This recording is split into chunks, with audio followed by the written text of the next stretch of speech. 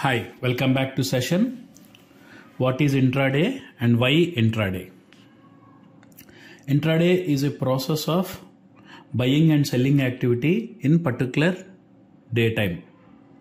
It is a choice for the trader.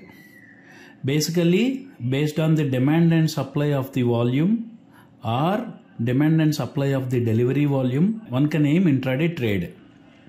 So intraday trade is always a choice for a trader with a limited risk and unlimited reward or 1% risk with 3 to 4% reward.